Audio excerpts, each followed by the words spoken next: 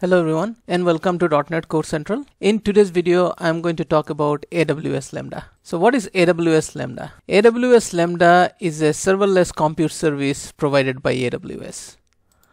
When we use serverless feature, we do not have to worry about managing the infrastructure, managing how to scale out or scale down, and that is the biggest value add for the serverless functions or any other serverless feature provided by AWS. In today's video, I'm going to focus only on Lambda, but in subsequent videos, I'm going to talk about other serverless functions like DynamoDB, SQS, SNS, etc. But with any serverless function or any serverless feature, it comes with a price. It is costlier than using compute like EC2 if the EC2 is optimized properly. Why I say optimized properly? Because based on use case, Lambda might be a better option. But building complex application would probably be better suited with Docker container running on EC2. And in subsequent videos, I'm also going to talk about how to use EC2 with ECS, but today's focus will be only on AWS Lambda. Now where to use AWS Lambda? Just like any other feature, serverless also has a lot of hypes. And that's why it's very important to understand where to use it. Just like any other technology or programming language, everything has its own place. And architecturally, not everything fits everywhere. So we have to be very cautious choosing AWS Lambda or serverless compute. First thing or the most important to keep in mind is that Lambda is meant for smaller functions or I call it nano service not even a microservice. It's a very small unit of compute that you want to execute. For example, sending an email or sending a text message or running a computation to deliver something. But very small function, a single responsibility function. That's how Lambda should be designed. Second thing is Lambda integrates extremely well with other AWS serverless services like SQS, SNS, etc. And then finally, whenever you use Lambda, the function time should be minimal or the execution time for the function should be minimal since you pay for the compute time used. So it doesn't make sense running highly time consuming operations in a Lambda. And to be honest, that's not what it is meant for and next where not to use it as I mentioned earlier, we should not use it for continuously running processes and long running processes. So things like, let's say you have an application which has a listener to a, maybe a queue, but it gets millions of messages a day and it does a lot of processing. In those kind of situation, Lambda is not the right answer. The other situation is you have a process which does a MapReduce job, gets a lot of data, creates some aggregations and saves it into a database or a table. That is also not a good use case for Lambda because because it will take a lot of time. It's a long running process. And why is it so? As I mentioned earlier, you pay for compute. So you might end up paying a lot of money for running this kind of job in Lambda compared to taking a EC2 server and running multiple container on that. We should not use Lambda where we have a very large footprint and then we should not use it for places where we have requirement of high frequency or low latency. The reason for that is the functions are loaded only when it is requested.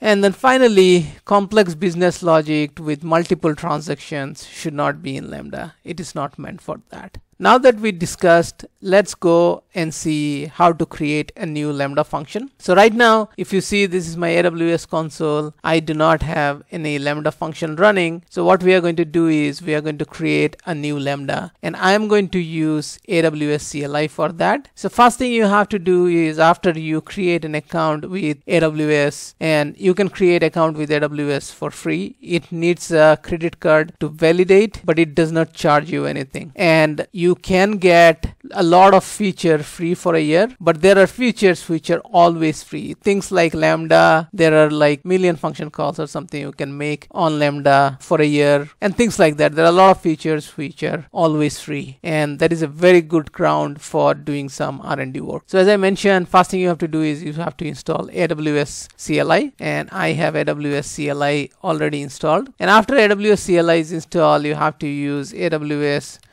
configure and provide a profile name.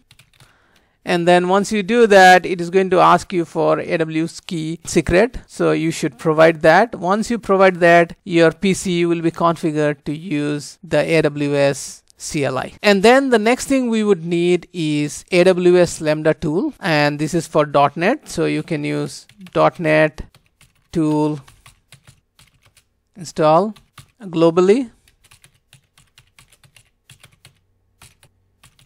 now I have already installed it so it is just going to tell me that it's already installed but you should install it. And then if it is installed you can update it using the same command but instead of install it will be update.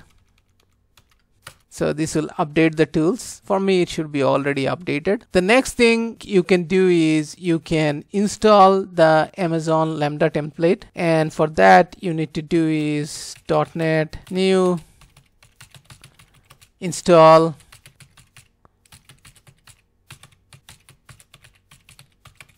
five point two point zero. That's the one I already installed so I'm not going to install again. And after the lambda templates are installed you can use the lambda template to create a new lambda function. So I'm going to do that. So I'm going to use the .NET CLI command prompt because this is the easiest way to do it. So I'm just going to use this instead of going and opening Visual Studio. So you can do new and the template name is lambda dot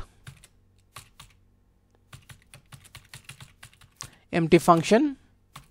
And then name of the function is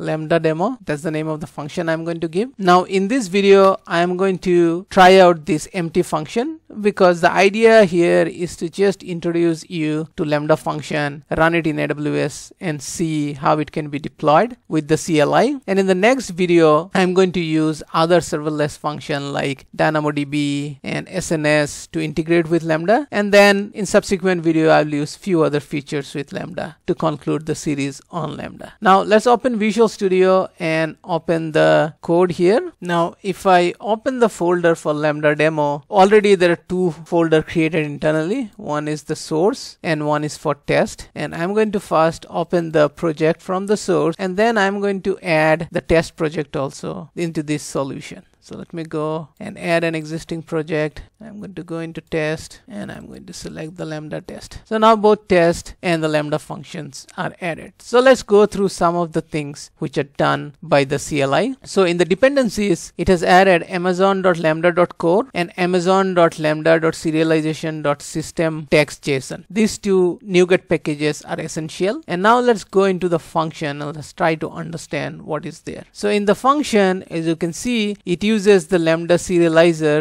which is part of the aws.lambda.serialization.system text json NuGet package and it uses the default lambda serialization. And as you can see the template already gives a comment that assembly attribute to ensure lambda functions json input is converted into .NET class. So this is important. Second thing is it creates a class with name function. Now this class name can be changed and then it creates a function which will be the entry point for lambda. Now this function name also can be changed but changing the class name and function name needs to be incorporated somewhere else and I'm going to show it in a few minutes. So inside of this function by default it comes with an input parameter and this input string can be anything. Here instead of string you can define an object and the JSON serialization will take care of that. And then you have an i lambda context. An i lambda context is the context of the function and it gives things like logging and other stuff. So here you can get the function name version that's fine. You can get the identity if identity is integrated the cognito identity feature of AWS and this is something I can discuss in future videos and then it gives a logger which automatically logs into AWS CloudWatch and if you are not aware of CloudWatch CloudWatch is the place where all the log goes and then you can create dashboards and alarms on AWS CloudWatch as the name suggests is the watch of the cloud. Pretty intelligent naming I'll say. And then you can get what is the limit on the memory. And every lambda has a timeout and the remaining time will give what is the remaining time from the timeout. And you can see here remaining execution time till the function will be terminated. And I'm going to show where the timeout is also available so now this function is a very simple function it is just taking the input and changing it to ToUpper. now the most important file here is this AWS lambda tool default.json. This file is where you see this function handler. This is very critical. This function handler provides what is the assembly name, what is the namespace, the class name and the function name. And as I mentioned, we can change this class name and function name, but if we change it, it has to reflect here also. So let's say we change it to demo function and then we change this to demo function handler. If we do that what we have to do is we have to go here and change it from function to demo function and function handler to demo function handler. That's something we have to do. This one says how much memory will be allocated to this lambda. This is the timeout as I mentioned here from the context we can see time remaining. It based on this timeout and this is in second. The function runtime here is .NET Core 3.1 framework is .NET Core App 3.1 and this is for release version. And here we can provide the region and profile. And I'm going to provide both so that I don't have to type during the command. And my profile is personal. And the region is US East 2 because I am by default in Ohio which is US East 2 zone. And as you know all cloud providers have different regions and they have certain naming convention. For example, in AWS, US East 2 is the region where the data center is in Ohio. Similarly, US East 1 is where the data center is in Virginia. And then it has US West 1, US West 2, then EU East 1, and so on and so forth. So for my purpose, I'm using US East 2. That's all. And this is just an information. I'm not going to change it. I'm just going to keep it as is. It's not important. So here is the basic lambda function. Now we can use the input here to do a lot of thing and implement some logic. But for this video, I'm going to create, as I mentioned earlier, I'm going to create a very simple function and I'm going to keep the default implementation. I'm not going to change anything here because idea of this video is to introduce you to Lambda and see everything. The only thing I'm going to do here is I'm going to just use the context dot logger dot log so that I log something in the CloudWatch and I'm going to say got new message and let's print the message also. That's about it. So this will show you the CloudWatch integration from the context.logger. So once this is done, let me just show you also the test function which comes with this.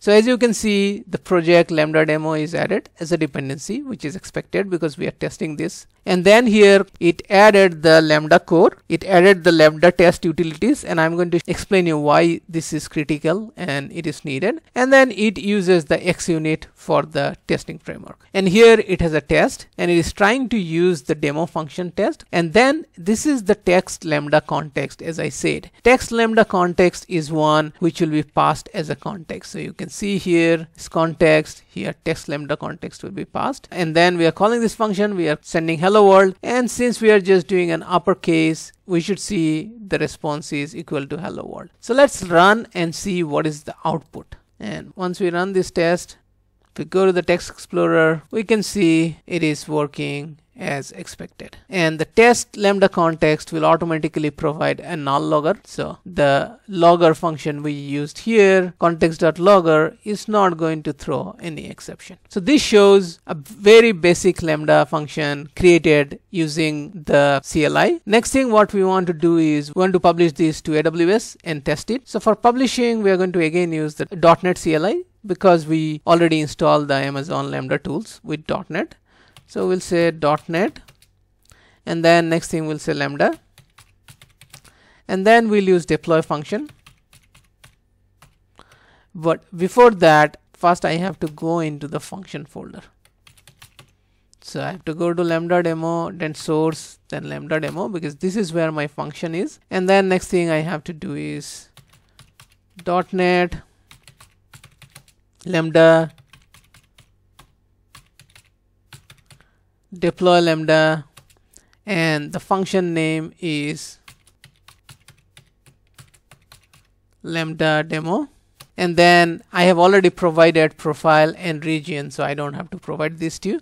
Otherwise you can provide profile here and similarly you can provide region region here but I don't need this two because I already provided them in the JSON configuration file. So I'm going to execute this and this is I made some mistake. It should be deploy function not deploy lambda. Okay, so let's run this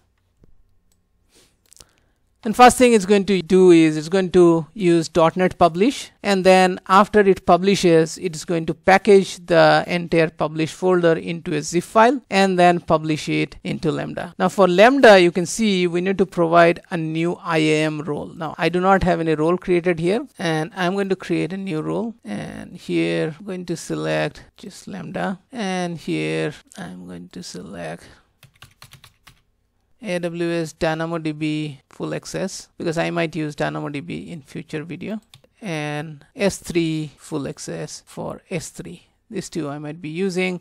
I'm not going to use any tag but if you're building enterprise application you should always add tag and the tag should say what is the application name and other features so that it's easier to find out in terms of billing how much your application cost. And this one I'm just going to say lambda demo. This is the name of the role and I'm going to create this role. Takes a couple of minutes for the role to reflect. Now I'm going to go here and I'm going to say lambda demo. So it did not work. Yeah it did not work. So let me try again it's going to go through the same process. It's going to create a zip file. Ultimately a zip file is what is uploaded. So now my lambda demo is shown here. I'm going to select one and now it shows the lambda is created. So if we go here if we refresh we should see the lambda is created and as you can see the lambda is created it's uploaded as a zip file and it's .NET Core 3.1 it was added 10 seconds ago. And the size is 25 KB it's extremely small. That's the beauty of .NET Core. And now here as you can see I do not have any trigger and this is the handler. And now I can go into test and I can test something. For test I do not I'm not expecting uh, JSON. I'm just expecting a plain string. So I'm going to say convert to uppercase and that's my test right? And then I'm going to call invoke. And if I invoke you can see it's successful. And if I expand it convert to uppercase. It converted and this is the response. And also if you look into the log in the log it says got new message convert to uppercase. So that is the message I sent so you can see here how the log gets logged when I log something in logger and this is integrated with the lambda itself here but you can click here to go to CloudWatch to see the log and here is the monitor which is going to show CloudWatch metrics. Now there is no error rate or any such things. The only thing you see that zero error rate, 100% success rate. This is the one call we made and here you can see there was one invocation made. So that's the CloudWatch metrics that we can see here. So that's all I wanted to cover today. This will just give you a very basic idea of how you can create a lambda function from scratch and deploy into AWS in my subsequent videos, I'm going to cover using Lambda to connect to some of the other AWS feature like DynamoDB or S3 or SQS and SNS and how you can write a pure serverless function based application in AWS. If you like this video, please give me a thumbs up. If you are new to my channel and if you think you are going to get value out of my channel, please subscribe to my channel and thanks so much for watching this video.